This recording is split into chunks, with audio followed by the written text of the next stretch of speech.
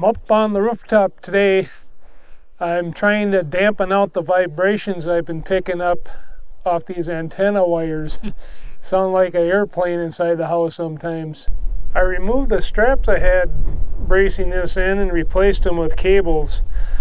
Hopefully that'll take some of, that uh, slapping and vibration out.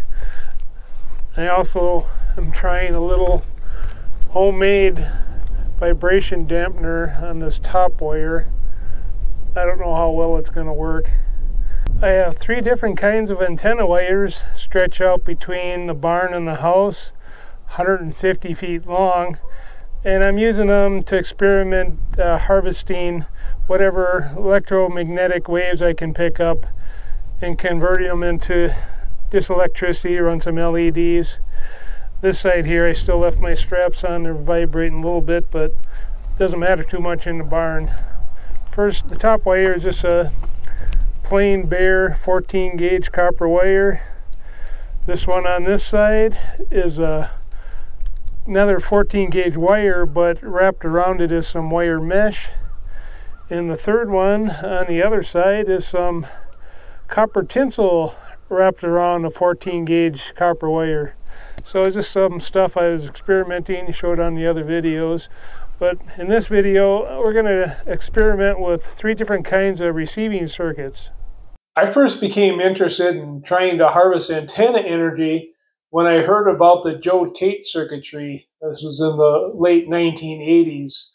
Joe Tate invented something that he called the ambient power module which was just some circuitry he would use to convert some radio waves or static or whatever was available into usable power. Well, a little bit of power. It was, I think it was enough to run a clock. But I became kind of fascinated with that, and I wanted to try that myself. Joe Tate got a patent for his ambient power module in 1986. And what it really is, is a voltage quadrupler. So, whatever voltage you're measuring between the antenna that you put up and the ground, it multiplies it by four. And it's usually just a tiny bit of power, and it takes a while to charge up the capacitors, but you do get something. Now, when I first tried this years ago, many years ago, I lived out in a pretty remote area, and I put a circuitry together, and I was maybe getting two and a half, three volts, and it took like hours to charge a capacitor, a small capacitor up to that. So there was something, but there really wasn't much to work with. Where I live now, I'm closer to a little more EM waves. There's power lines around and there's broadcast stations. So I am picking up uh, quite a bit more than before and actually have a pretty big antenna now. In my current setup, I have those three antenna wires running and I got them all tied together right here in this other wire right here. This is a ground, and it goes out across the driveway. You can kind of see where I buried it. It goes down the hill to a pond. It's kind of froze up right now, but it's a good ground. It's about 250 feet away. And the first thing I want to do is I'm checking the frequency. I'd like to see what exactly it is, where the energy is coming from. This is kilohertz and it's jumping all around. And this is the waveform. I think it's just a bunch of static, I think, I don't know. But this is what's happening. That's the source of the energy. And in other videos, I showed these LEDs being lit, and I was just using this is a bridge rectifier with a filter cap. It says circuitry right here. But the one I want to try right now is the Joe Tate one. And I put something like that together right here. It's kind of a messy one, but this will be the antenna connection. I'll get this set together and I'm going to charge up this capacitor to see what it'll charge up to. I guess first I should check the voltage on this right now to see what we're getting. This is the voltage right now that I'm picking up between the antennas and the ground. This is AC. This meter is probably drawing it down some because you know this is we're just playing with a tiny bit of electricity, microamps, microwatts. I think the first thing I'll do though, I'll charge up this capacitor to see what it charges up to. So I'm just going to disconnect the meter and hook it up to here, and I'll come back and I'll show you what we charge it up to.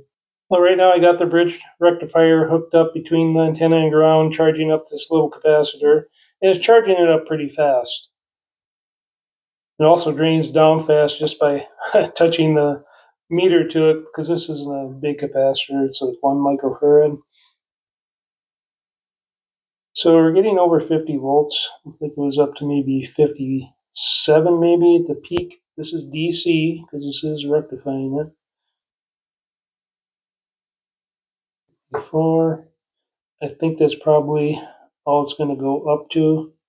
You know, this we're just playing with microamps here.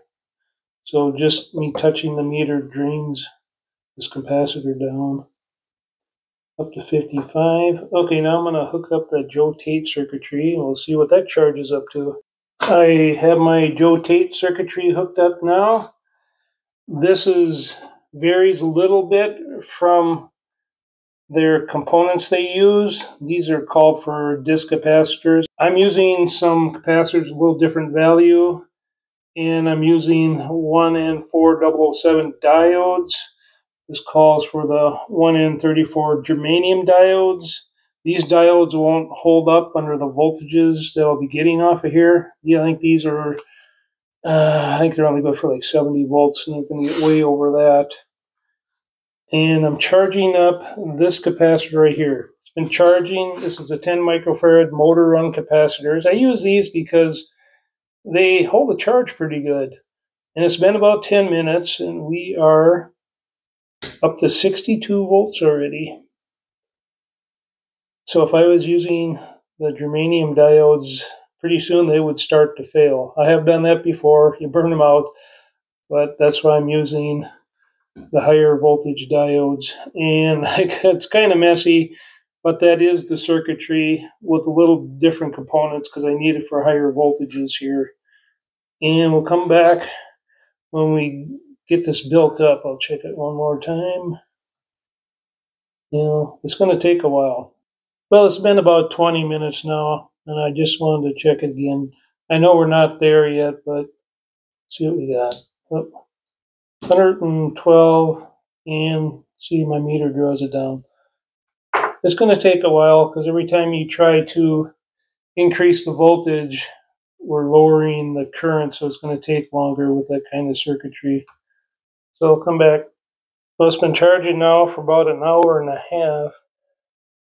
And we are up to, well, it's 217 volts.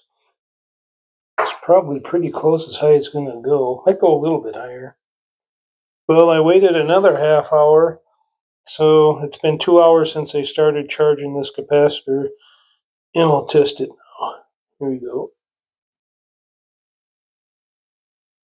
So it's up to 221, but it just quickly drops because the meter is drawing it down. I think that's all the higher it went. 221 volts. I'm going to do a little comparison right now. I got the Joe Tate circuit connected directly up to some LEDs. Just need to connect the ground. And there you can see the LEDs came on, not real bright. And the current we have is 2.7 microamps. Now compare that to the full bridge rectifier. I now have a full bridge rectifier set to be connected. I just got to attach the ground and we'll compare it with the Joe Tate circuit. And there's the LEDs, a little bit brighter. And the current got now running through it is 8.8 microamps, 8.7, 8.8. I seen it up to 10, 10 or 11 in different conditions, but that's what we got right now. And that's why I've been running the full bridge rectifier. I didn't need the high voltage. I needed more current, and with the full bridge, we're getting more current. I'd like to mention Paul of Inventor 3 YouTube channel. He did a lot of videos using the Joe Tate circuit. If it's something that you're interested in, he'd probably appreciate your visit. And I'd also like to mention Grant's Pass TV Repair YouTube channel. He did a number of videos with uh, crystal radio sets, and he showed how he was pulling in electricity with his tuned circuits. And that was pretty interesting too. After going over the Joe Tate circuit, I started some of my own R&D, and I started experimenting with a voltage doubler. And the would attach antenna up here and ground down here. And after some experimenting, I discovered I could make it simpler yet and just eliminate this capacitor. And I could do that because the antenna itself is acting as a plate on a capacitor, so I can make it simpler yet and I came up with this circuit here. And this type of circuit is what I was using in my earlier videos of several years ago. And I drew a schematic so I could understand it.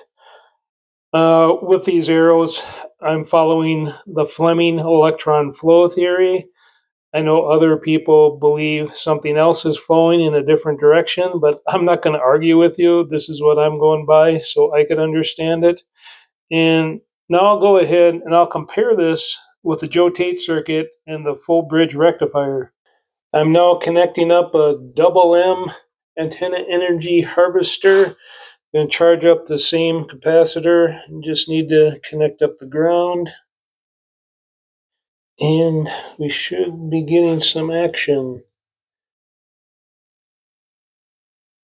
Charging up. We'll let this go for a while and see what it comes up to.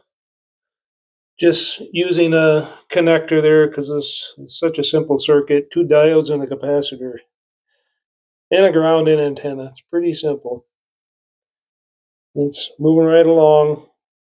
We'll come back. Okay, well, it's been about 10 minutes, and we'll test it out here. 110 and dropping. I think that's all higher it's going to go. This voltage doubler, and that's about double the voltage. So it's about 10 minutes. And now I have the double M antenna harvester connected up to the LEDs. Hard to tell the difference in brightness. We'll look at the current and with the current we're at 5.1 microamp so it's like midway between the joe tate and the full bridge full bridge is still the best for current i guess that's why i use it but you can change voltages with these other two circuits if that's what you need to do you can get some impressive voltages with the joe tate circuit and some others from just an antenna and a ground but I never had any matching load for the higher voltages. So I try to stick to the lower voltages and higher currents. And because this is such low power, it's just a fun hobby. So I hope you found some interest in this and thanks for your time.